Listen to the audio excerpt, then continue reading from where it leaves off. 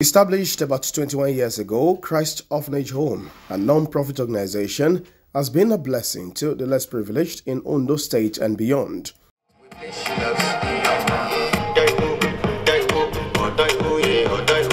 The proprietor, Christ Orphanage Home, Evangelist Solaide Olasende said the journey, which started from God's calling 21 years ago, has been eventful. She said the home, which started in Lagos with four children, now has hundreds for both nursery and primary non-fee school to secondary schools and others on scholarship. It has not been easy to, to be where I am today. It has been God. There are lots of challenges and God has always been it in all the challenges. I love challenges because each time there's a challenge, there's always something to learn and there's always a testimony to the challenge. So I always said, love God when He gives me challenges. I thank God most high for being the owner of Christ of Orphanage Home. I'm not the owner, I'm just a vessel being used.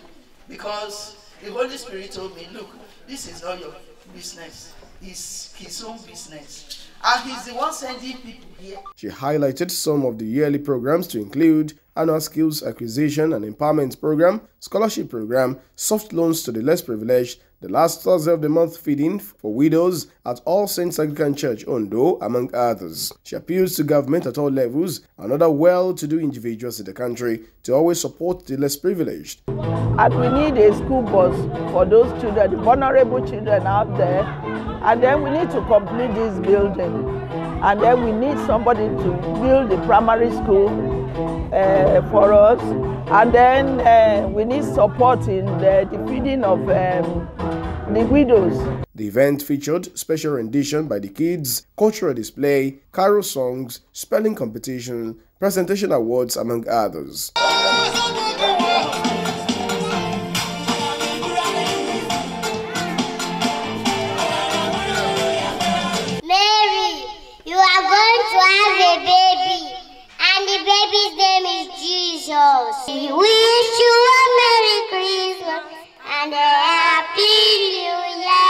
In his exhortation, Venerable Eze, while thanking the proprietor of the orphanage home for what she's been doing, charged her to continue in that path. This is sacrifice.